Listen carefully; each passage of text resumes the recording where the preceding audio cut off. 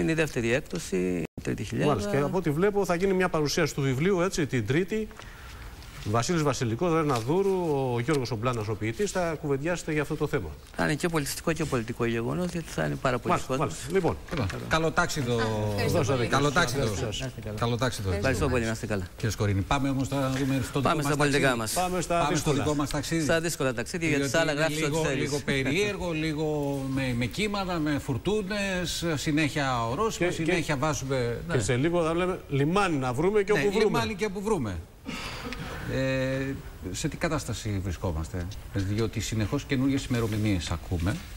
Εχθές είχαμε την κυβέρνηση να λέει, λύ- και τον ίδιο τον Πρωθυπουργό. Ο Πρωθυπουργός λέει λύση να είναι.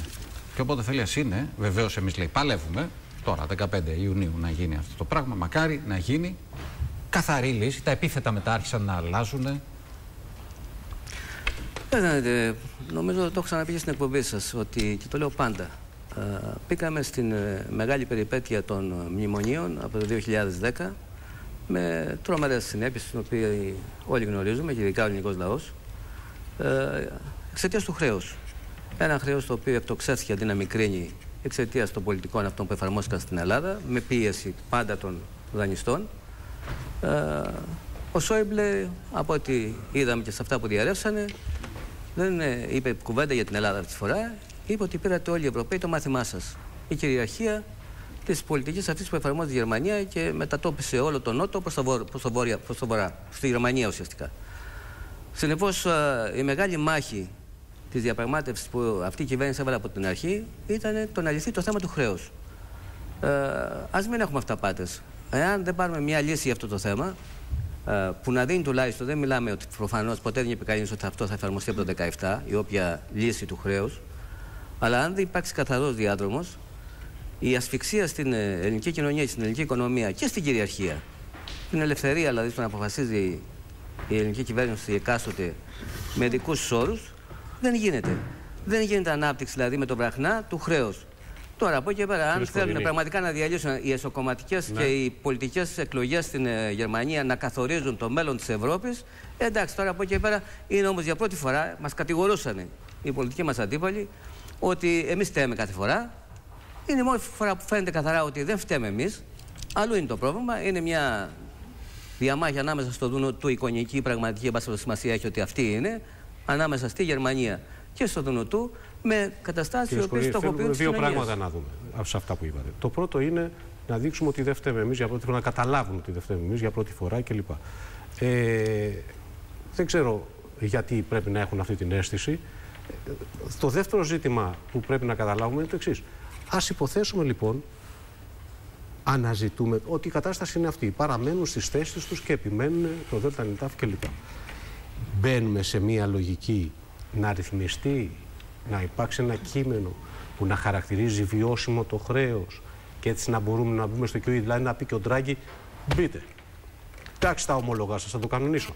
Μας αρκεί αυτή η λύση σήμερα. Κοιτάξτε, η καλύτερη λύση που θέλουμε προφανώς μακάρι δεν φαίνεται ότι θα έρθει. Όμως πρέπει να υπάρξει λύση η οποία θα δίνει και δημοσιονομικό, πολιτικό και κοινωνικό χώρο. Ε, θέλω να πω ότι και, δεν είναι- και αυτό το είχα ξαναπεί στην εκπομπή και εσάς τους ίδιους. Ότι ο Σόιμπλ εδώ και 6 μήνες το λέω.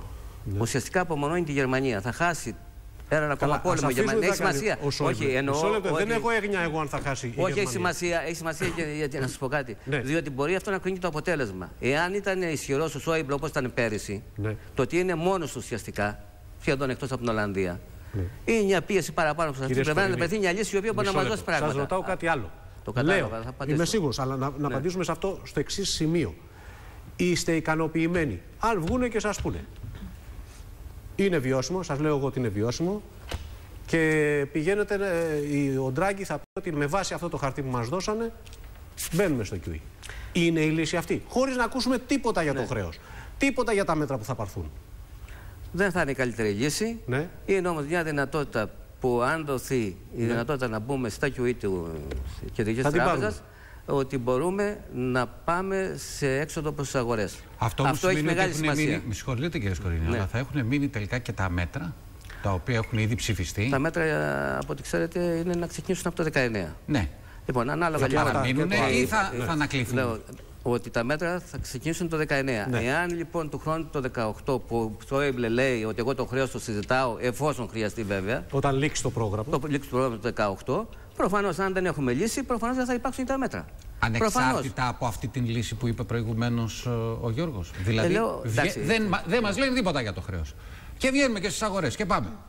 Το θεωρούν ως ένα χαρτί, μια ένδειξη. όχι, ο ένα- Ντράγκη βγήκε. Λέει, πει- είπε ο Ντράγκη. ναι, Τώρα, ναι, ο Ντράγκη- Κάνουμε τις δικές μας εκθέσεις Ναι. και λέμε ότι. Μας εντάξει, ικανοποιεί εμάς. Ναι. Είπα, δεν μας ικανοποιεί απόλυτα. Με την έννοια. ο- Απόλυτα με- προφανώς με- δεν είναι απόλυτα η όχι, όχι, όχι, ικανοποίηση. δεν Ξέρετε, μιλάω μια μόνο για την διαπραγμάτευση ικανοποίηση. γίνεται. Ακούστε, ακούστε. Ναι. Το, προφανώς κατάλαβα. είσαστε, είσαστε πολύ σαφείς. Λέτε ότι εμείς θέλουμε το καλύτερο και το καλύτερο είναι να συζητήσουμε και, Και για τα το δύο. χρέος.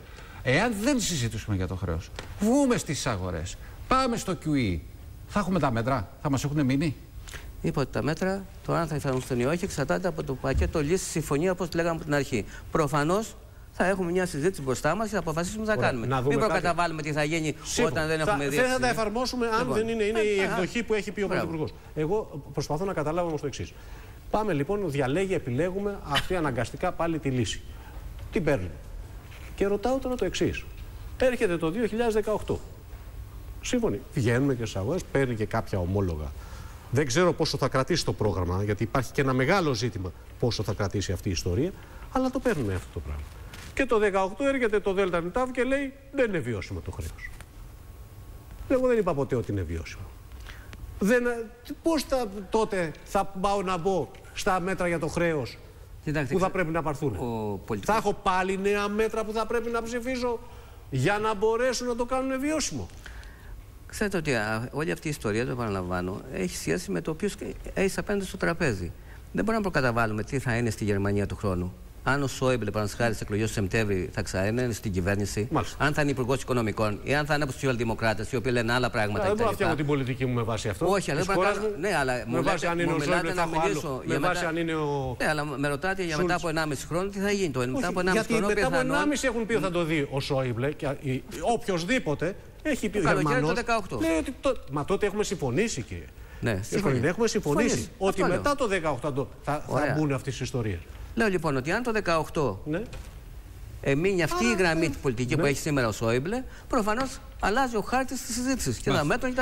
Εάν έχουμε Πάμε άλλο και στην χάρτη, κυρία μπορεί να είναι Παπακώστα. καλύτερα τα πράγματα. Γιατί προκαταβάλουμε ότι δεν θα είναι καλύτερα τα πράγματα του χρόνου σε σχέση Κυρία με το τι Παπακώστα, συμβαίνει σήμερα. Η κυβέρνηση λέει